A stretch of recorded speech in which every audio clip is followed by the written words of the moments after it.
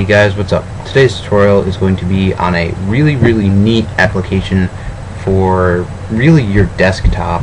Uh, it's a desktop replacement. It makes a 3D environment like a real desk. Objects can bump into each other. You can make piles with them. God damn it, aim's annoying. Every damn video I make goes off. Um, you can put things on the wall, photo frames, uh, a whole bunch of different things. As you can see, there's different things on here. Um, this isn't really recommended if you have a really uh, slow computer as it is. Um, since my computer is really fast usually, uh, it hasn't it hasn't affected my performance at all. But if your uh, if your computer's a little bit uh, on the slow side, or it doesn't have a ton of memory, or it's not really that fast. Anything anything that makes your system slower can get annoying. So this is really really cool if you have a quick system. If your system isn't so fast, you can try it out to see how the performance is. It doesn't really affect it much at all. Um, so let's get started. Um, first you're gonna go to the BumpTop website, which is gonna be the first link in the video description to the right, and uh, you can look around. You can take the feature tour and um, things like that. Productivity, social desktop. There's um, Twitter, Facebook, basically anything you're gonna need. Um, there's a lot of new uh, features, and that's pretty much it. Um, to get this, you can either uh, go through the BumpTop website through download, download now, blah blah blah, or you can just click the second link in the video description. It'll take you right to this page, and you just click download now and download it right to your desktop. Once you uh, download it to your desktop, all you're gonna have to do is no, sorry about that. Um, after you have it installed, it will take you through a quick tutorial on how to do uh, the basics of bump, bump top. Um, I would I would suggest doing that if it's your first time using it, or if you just need a refresher. Um, first time I got it a couple couple weeks ago, for my computer, um, my old computer broke. Um, I, it definitely helped me. It definitely showed me the basics and what to do. Um, but I'm just going to show you some of the features that it might or may not show you. Um, I know one of the main features in this is the 3D environment, so everything has a little bit of whip to it. Um, you can make things grow really, really big. See, that's not sticky note, it's a piece of paper. Um, you can shrink them too. As you can see, when it got so big that it took up so much of the screen, it actually pushed some of my desktops to the side, or some of my icons over. So, say I took this and slam it into, okay, that's too big, never mind. But if I take it and drag it through there, it messes them up. Um, another really cool feature I like is the photo frames right here. You uh, more, add photo frame, and then you select Flickr, whatever. Um, right here, I have my photos, and over here I have Flickr. Now, that feature right there was the zoom in picture thingamabob.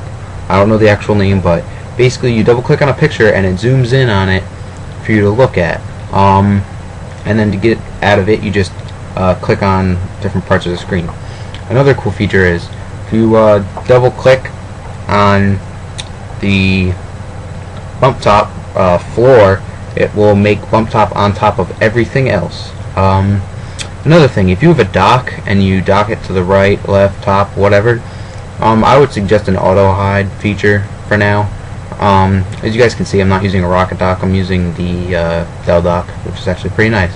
Um, some other cool features are if you double click anywhere, like a wall, see how it's a 3D room? Go double click on the walls and things so you can look at that. See? And then other cool features. Let's see, uh, stacks. So let's take a couple of these folders right here, throw them not so far. Alright, let's select all of these and then lasso them together. See it says pile created via lasso and cross. Now this pile is one icon now basically. Any anything you put in that pile will act as one icon. Now you can fan it out like this or whatever you want it and then just exit out and it goes back. Or you can grid it like that or you can just break the pile back to the way it was. You can do this with any icon you would like. Some other really cool features I'm not really going to go into detail with. Um, if you take a picture and drag it to this email icon, Facebook or Twitter, it will send that picture out to that client, um, to your account.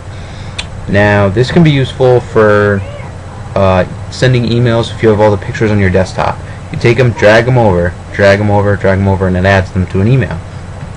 Another really cool feature is these sticky notes.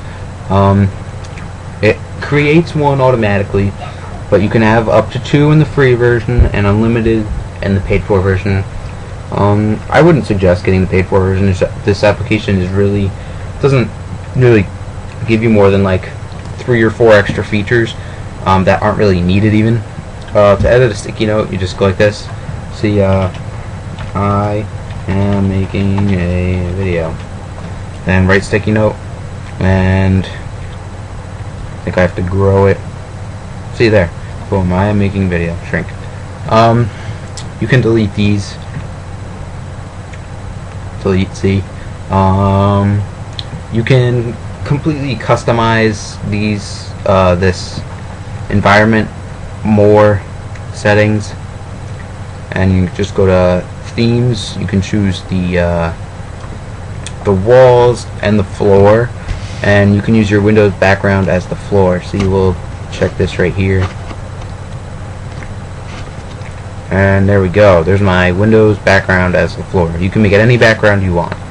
Um, if you guys really like this you can right click go to settings go to general and launch launch it at the stop start and um, you can do uh, different network things for updates.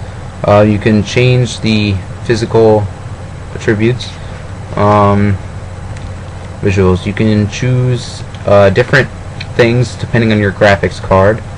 Um, right now, I just have mine at the defaults because I just installed it.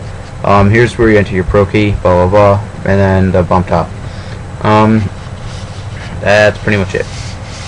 So if you guys like this video, um, make sure you go and download the BumpTop application from uh, the second link or go and look through the site on the first link of the right.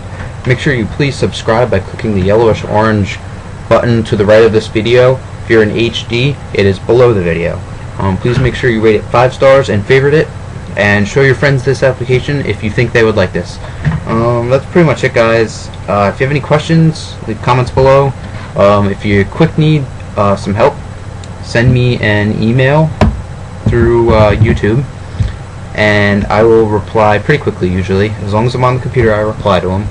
And uh, that's pretty much it. If you guys need any suggestions for tutorials, please message me them. Do not put them in the comments. Comments are for comments and help. Um, if you just quick need something, just email me. Thanks guys. Have a good day.